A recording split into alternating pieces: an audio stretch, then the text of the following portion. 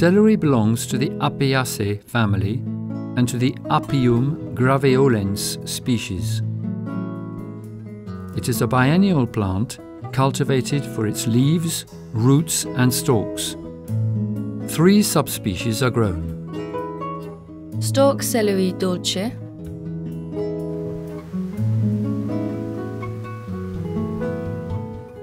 Celeriac, or root celery, Rapaceum,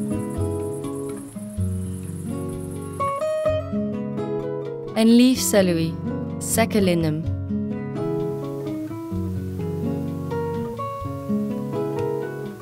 The wild variety of celery is called smallage.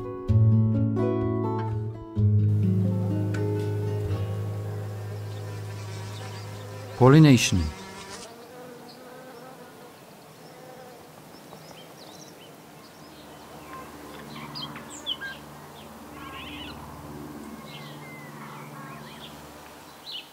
The inflorescence of the celery is an umbel composed of small flowers that are usually hermaphrodite. The stamen, the male sexual organ, matures before the pistil, the female sexual organ.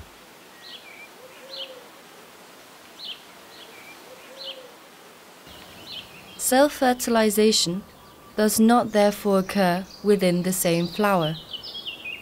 Yet, since the flowers do not bloom at the same time, self fertilization is possible within the same umbel or between two umbels on the same plant.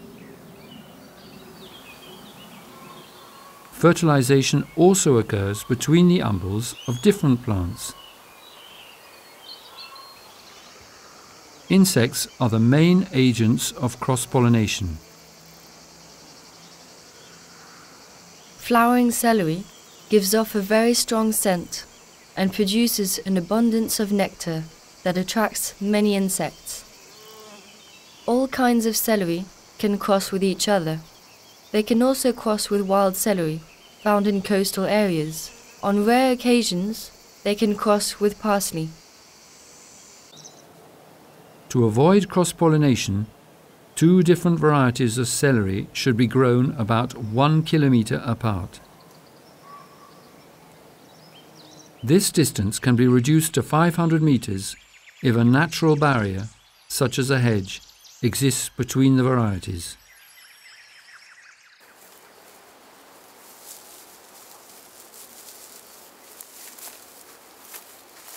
The varieties can also be isolated by alternately opening and closing insect nets, or by placing small hives with insects inside a closed insect net.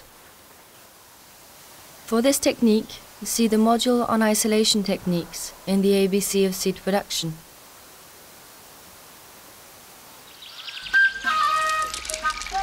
Life cycle.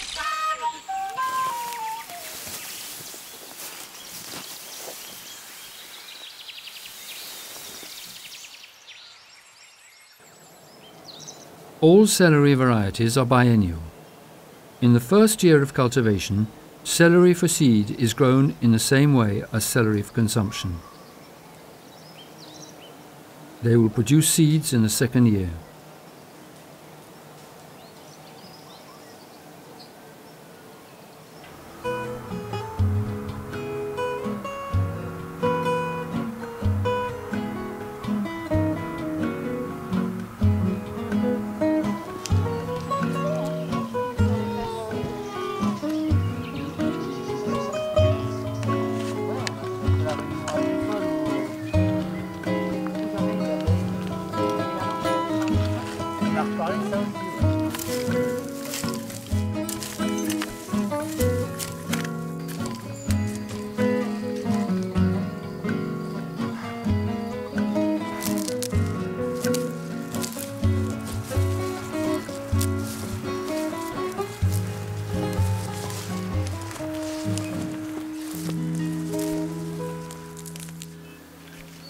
Are different methods for storing celery for seed production over the winter. In mild climates, you can leave them where they are in the garden. Nevertheless, they should be protected with a frost blanket or straw. The straw should be removed in spring. In cold climates, you should uproot the celery plants before the severe winter frosts.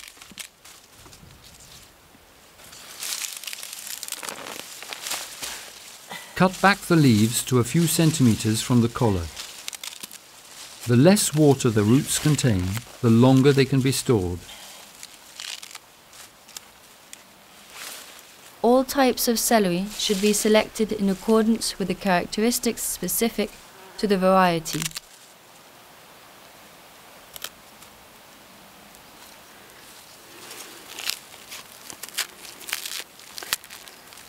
For root celery, color, shape, taste.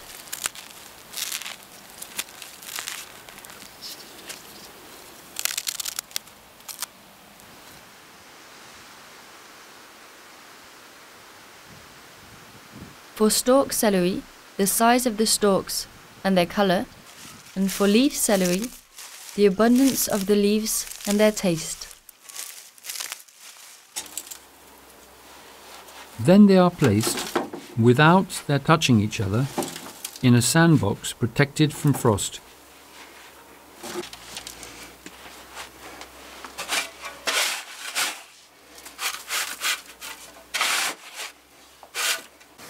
Over the course of the winter, the roots should be checked carefully and any rotten ones should be removed.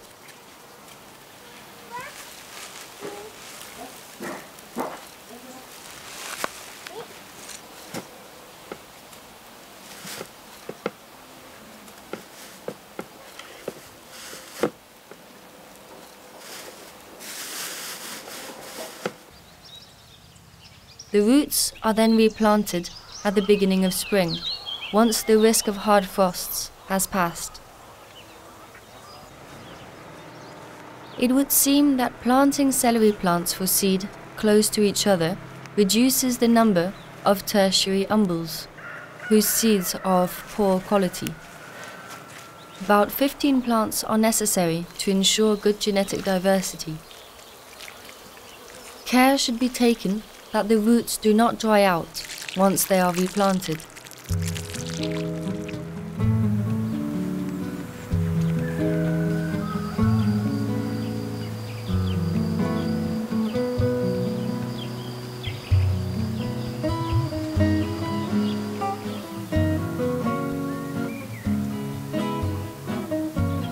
Celery produces several umbels that do not all bloom at the same time.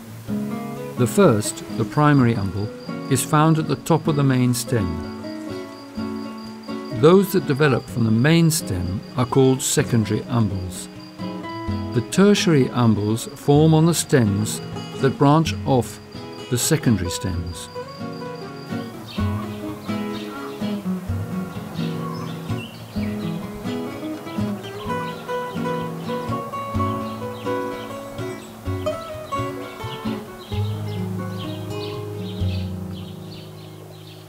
It is preferable to harvest the primary umbels. The secondary umbels should be harvested only if necessary. Celery seeds are mature when they turn brown. Seeds should be harvested when most of the primary umbels start to turn brown.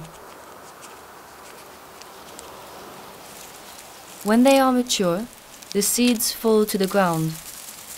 If the weather is windy or rainy, harvest them before they are completely mature.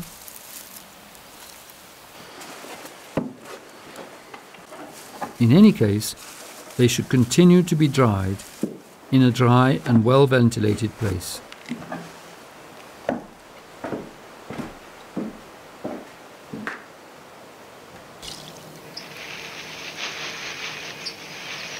Extracting, sorting, storing.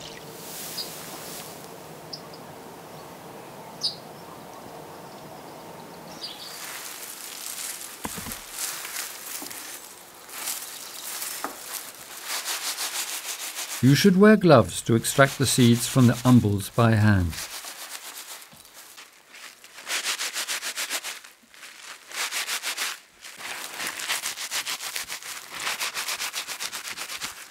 To sort the seeds, you should use sieves that retain the chaff.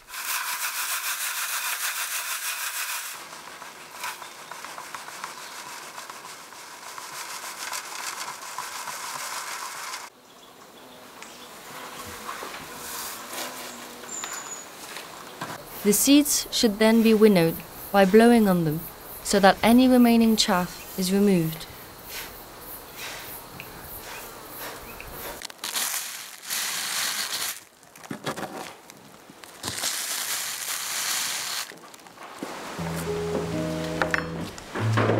Always include a label with the name of the variety, the species, and the year in the bag, as writing on the bag can be rubbed off.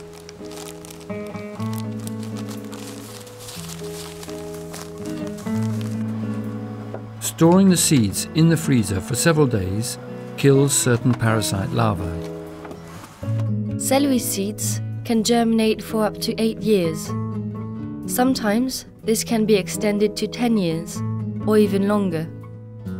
This can be further prolonged by storage in a freezer. 1 gram contains around 2,000 seeds.